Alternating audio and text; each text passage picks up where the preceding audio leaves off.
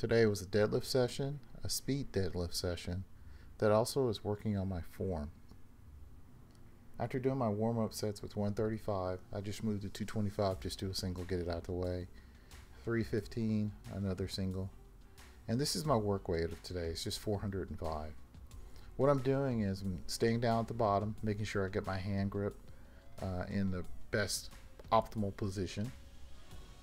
Then I'm rolling the bar into myself and just pulling straight up. For me, this is the easiest way to deadlift. Now, this may not work for everyone, but for me, this is the form that works for me. What I'm going to do is five sets of one.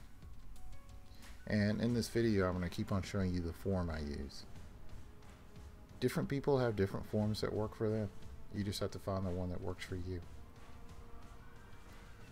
By rolling the bar into myself and actually staying down like this, I find that I'm it makes it super easy for me to get the weight off the floor. The only struggle with the deadlift for me is when I get to my knee. That's when I just really have to work on pulling. And the way I'm built, that is mostly my upper back, traps, lats, and a little bit of lower back. Afterwards, I move on the stiff leg deadlifts. Today I went light, but this is actually another exercise that builds my deadlift. In the coming months, I'll keep on adding weight to it. In a previous video, I did 435 for 5, and I usually stick with 5 reps. But today I just went lighter. Since it's a speed deadlift, I didn't see a need to really go heavy. Just crank it up 5 reps. Then it moves on to lat pull downs.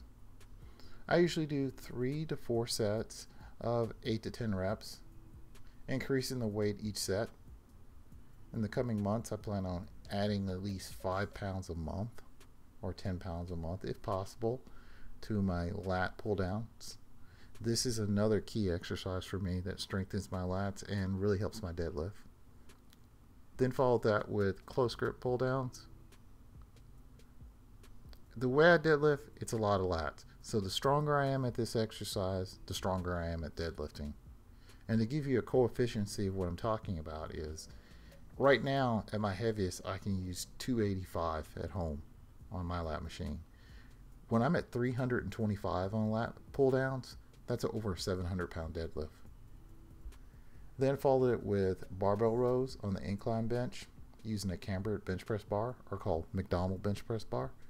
I did three sets of 10. Thank you for watching. If you have any comments or questions, please leave them below.